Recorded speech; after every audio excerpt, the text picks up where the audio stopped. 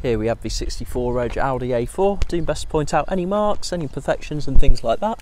So start with the front right alloy and tyre here. Overall this alloy is in good shape. It does look as if it's had a refurb at some point. Uh, just from the feel of it, it has got a slightly rougher feel uh, than a brand new alloy. A little bit of flaking there and a few other little bits where it's been curbed on the outer edge, but nothing too sort of major. Um, we've got about between five and six mil of tread on the front right tyre there. Now come around the driver's door here, so we have got a few little stone chips, not sure how well you can see those, small one there and there, and a few little ones just uh, dotted around there. Slightly bigger ones here and here, this one's actually made a bit of a dent. Uh, it's quite a big sort of, well, a bigger chip I should say. Um, but if I stand about a metre away, you can see it is relatively minor, but you can just notice it. Come around the back right hand side, that's all good. I have noticed a small dent here, about the size of a penny coin, is just worth sort of pointing out. It's not very big, but like I say, worth pointing out. Little stone chip there that's been touched in. Again, another small little ding there, about the size of a 5p coin, very minor and we've got the back right alloy and tyre here as well again overall this one's pretty good uh, but again it has been refurbed at some point. and on the back right tyre we've got between 4 and 5 mil of tread there as well. Now coming around the back of the car of course you've got rear parking sensors. Uh, we have got again another couple of little dings there.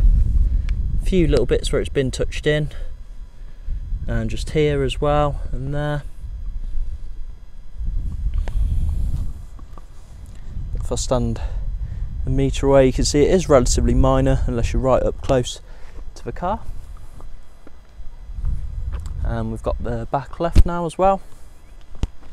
And we've got a back left alloy and tyre here as well. Again overall this alloy is in good condition but you have just got little bits where it has been curbed and just up there. And just a few little bits of corrosion on the inside also. And on the back left tyre again between 4 and 5 mil of tread there and on the back left door I've got a couple of little bits uh, where there's had stone chips that have been touched in coming around the front left door here and there's a few little bits here does look as if this front left door's potentially had a little bit of paint at some point uh, just from what I could see. Front left, uh, the wing mirror, just got a bit of a chip there that's been touched in. Again from a metre away and it is relatively hard to see. Front left alloy and tyre here. Overall pretty good, but again, a few more bits uh, where it's just been curbed on the outer edge. And on the front left tyre, we've got about five or six mil of tread on the front left tyre there come around the front so of course you've got some more stone chips just on the front quite usual for an eight year old car again just on the front right as well. See them just sort of little dotted around. That one's been touched in. And on the bonnet here also again a few little stone chips that have been touched in just there and there. And a few more dotted around here as well. Quite a few little ones. Black's the worst colour for showing all the little marks.